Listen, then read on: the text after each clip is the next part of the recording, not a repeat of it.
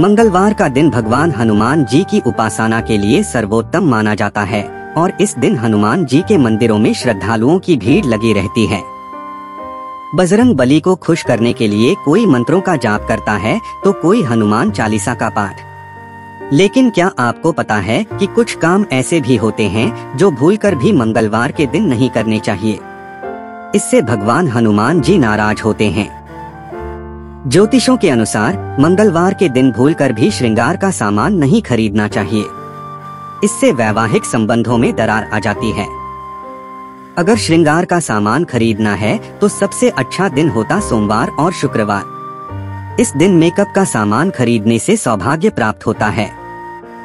मंगलवार को दूध से बनी मिठाइयाँ जैसे बर्फ़ी, रबड़ी और कलाकंद कभी नहीं खरीदनी चाहिए। दूध को चंद्रमा का कारक माना गया है। चंद्रमा और मंगल एक दूसरे के धुर विरोधी हैं, इसलिए मंगल के दिन न ही दूध से बनी चीज़ों का प्रयोग करना चाहिए और न ही इन्हें दान करना चाहिए। मंगलवार को केवल बेसन की बूंदी से बना हुआ लड्डू खरीदे या घर पर बनाकर हनुमान जी को भोग लगाएँ।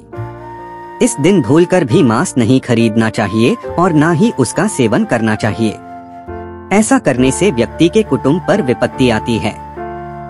इस दिन मछली खरीदने और खाने वाले व्यक्ति का पैसा पानी की तरह बहकर खत्म हो जाता है।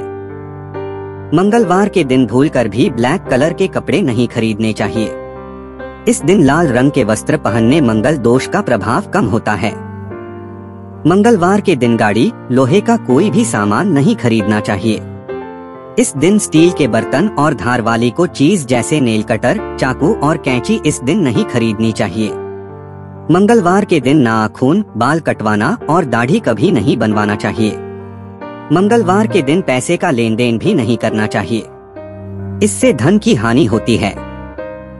इस दिन घर में हवन नहीं करना चाहिए और न ही इसकी कोई सामग्री खरीदनी चाहिए।